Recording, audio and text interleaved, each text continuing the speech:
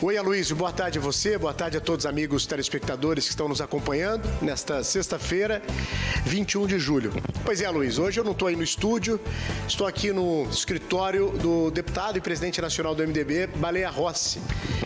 É extremamente importante essa nossa entrevista, esse nosso bate-papo também, para aqueles amigos e amigas que estão acompanhando o nosso programa.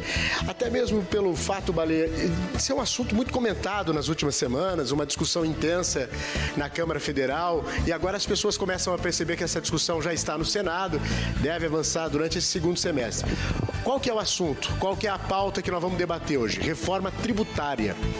E aí você está se perguntando, o que, que vai mudar na minha vida, o que, que vai mexer no meu futuro?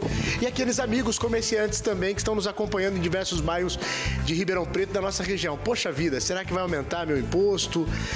Nós vamos tentar nessa entrevista, deputado Baleia, tentar separar o que é mito, o que é verdade, até porque muitas coisas foram plantadas e deixam as, as pessoas do nosso país, não é só da nossa região, extremamente preocupadas. E a gente sabe que o senhor se empenhou bastante, né, se dedicou muito, debruçou nessa pauta desde o ano de 2019 com a PEC 45, com esse projeto da reforma tributária. Nós podemos começar iniciando em relação o motivo, o porquê da reforma tributária, deputado. Bom, Igor, muito importante essa discussão. Por quê? Porque a reforma tributária ela vai impactar a vida de todos os brasileiros e para melhor. Muita gente fala algumas coisas com preocupação porque não entendem do tema, porque não estudaram, porque não se preocuparam e acabam recebendo uma informação via rede social, via WhatsApp, que não condiz com a realidade. Temos um economista renomado, Samuel Pessoa, que diz que a votação dessa reforma tributária pode ter um impacto positivo na nossa economia igual ao que foi o Plano Real de estabilidade econômica, de estabilidade política, mas mais do que isso, de crescimento da economia. E quando a gente fala em crescimento da economia, a gente fala em crescimento de PIB. E o que, que interessa para a população? Quando a economia volta a crescer, tem geração de emprego e renda. A expectativa é que a reforma tributária nos próximos 15 anos possa gerar, criar 12 milhões de novos empregos para o Brasil. Agora, eh, deputado, em relação, por exemplo, que a gente escutou bastante, eh, isso falando com aquelas pessoas mais simples relacionadas à cesta básica. A gente escutou algo que poderia, eh, de repente, ter uma tributação que aumentasse a questão dos alimentos justamente na cesta básica. Em relação a isso, existe a preocupação da diminuição de impostos ou até zerar o imposto da, da, da cesta básica em relação à reforma tributária? Esse é o ponto principal. Nosso sistema hoje ele é regressivo. O que, que quer dizer? Que hoje, proporcionalmente, o pobre paga mais imposto do que os ricos. E a nossa reforma tributária, PEC 45, que nós votamos na Câmara e agora está no Senado, zera o imposto dos alimentos da cesta básica. Então você nos dá a oportunidade de fazer esse esclarecimento. Hoje nós temos a desoneração apenas de PIS e COFINS dos produtos da cesta básica: arroz, feijão, leite, proteína animal, frango, ovos, é, carne, bovina, enfim. Nós vamos ter uma cesta básica nacional que vai ter o tributo para o consumidor zerado zero de imposto. Isso vai fazer com que a comida chegue mais barato na mesa do brasileiro. Por que, que isso vai acontecer? Porque muitos dos estados cobram o ICMS, por exemplo, sobre alimentação. E com a reforma tributária nossa, vai estar zerado. Em relação, eh, deputado, nós sabemos que muitos, aliás, a grande maioria dos trabalhadores lutam, trabalham tanto para ter seu automóvel, ter o seu carro, sua moto, não é?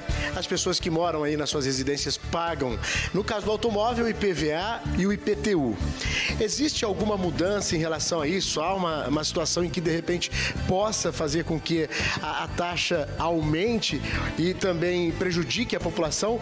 Existe alguma maneira relacionada também à questão de IPVA e IPTU, deputado? Na nossa proposta, até uma sugestão que veio do Senado, não na proposta original, tem a cobrança de IPVA para aeronaves e embarcações de luxo. Por quê?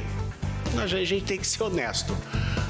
O trabalhador que tem lá o seu gol, o seu carrinho, paga IPVA e é aquele que tem um jet ski, que tem uh, um barco de luxo, que tem avião, não paga nada. Quer dizer, é um país da injustiça. Fazendo é, justiça, né? E sendo justo também, porque não deixa de ser, de repente, uma aeronave, é, uma moto aquática, até mesmo que seja tributado esse tipo de, de, de, de, de transporte também.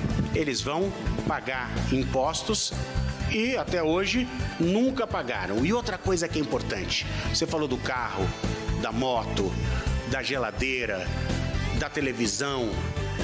Todos os produtos industrializados terão alíquota reduzida.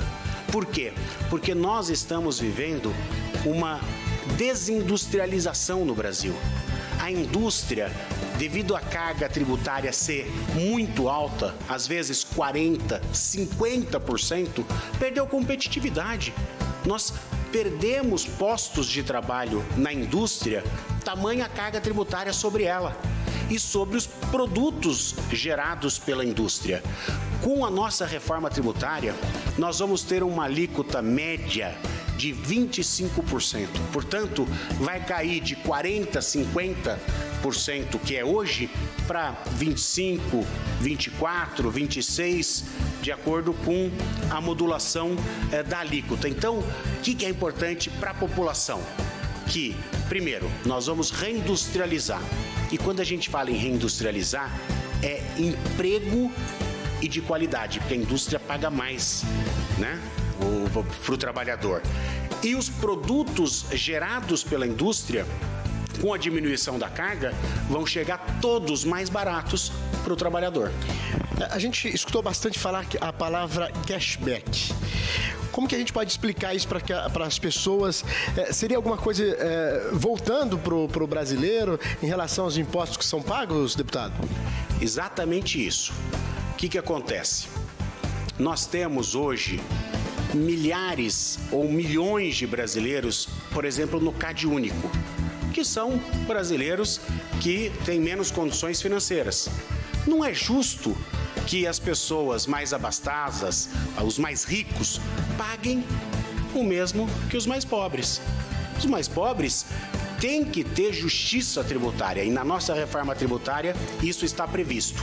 Nós temos o sistema de cashback que através do CPF da pessoa, vai ser regulamentado por lei complementar, mas nós vamos ter a devolução automática do imposto para essas pessoas vulneráveis que têm um ganho menor.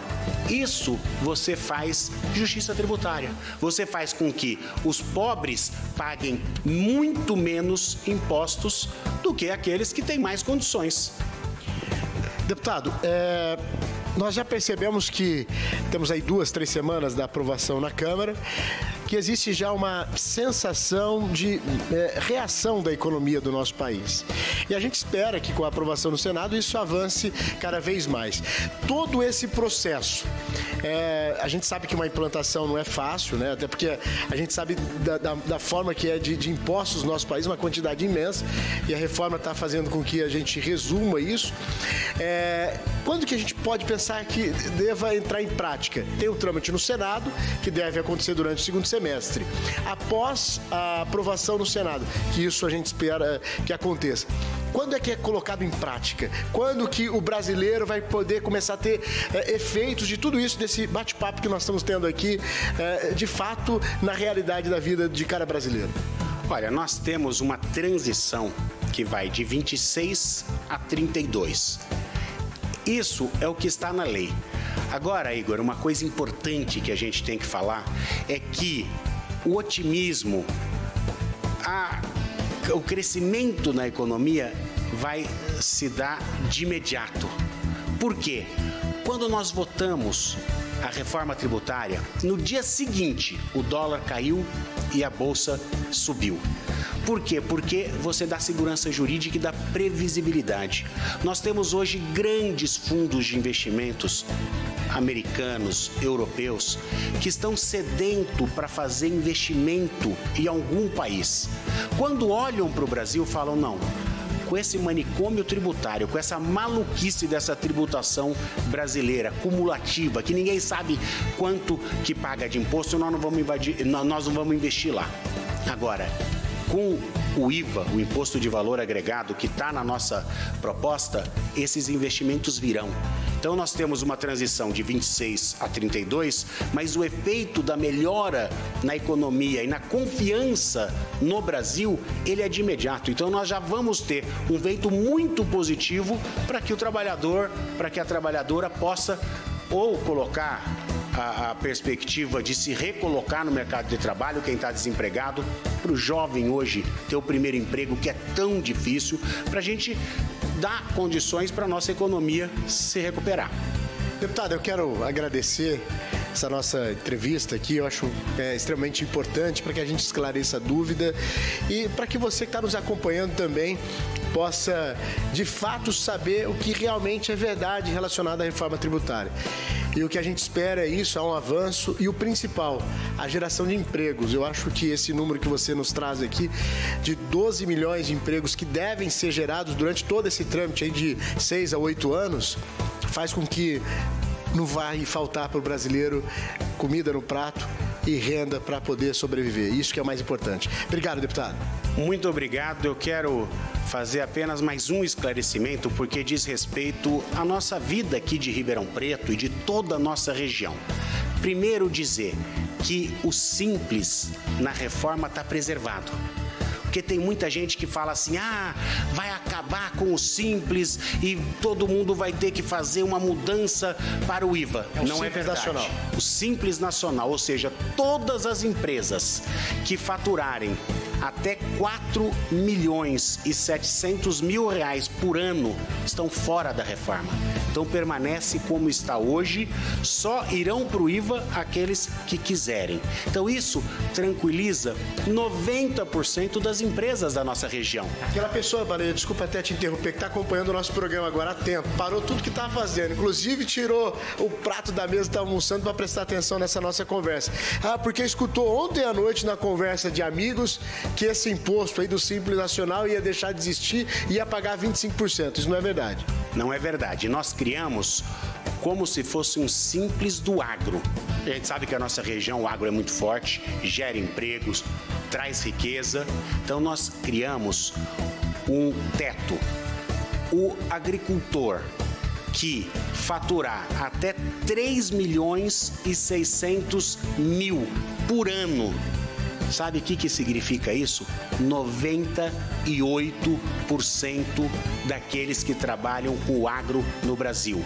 Até 3 milhões e 600 mil por ano estão fora da reforma, permanecem com o sistema atual. Então, é uma forma da gente dar estabilidade, de dar tranquilidade e combater aquelas mentiras que falam, olha, vão taxar mais isso, vão taxar mais aquilo. É muito importante que as pessoas procurem entender a reforma e vejam o impacto positivo que ela vai ter na vida de todos. Obrigado, deputado. Acho que é, é, muito importante, esclarecedora também essa nossa entrevista e tranquilizadora, né? É, que a gente traz aqui o que é principal, o que é verdadeiro e é o que a gente precisa pregar sempre. Obrigado, deputado, e parabenizar pelo seu trabalho. A gente sabe do seu empenho, da sua luta incansável. É, o Baleia foi o grande idealizador dessa PEC 45 e tenho certeza, conhecendo bem o deputado Baleia, eu não tinha dúvida que isso ia refletir na vida positiva do brasileiro, não trazer algo negativo. Por isso que você trabalhou e lutou tanto por essa reforma. Obrigado, viu, deputado?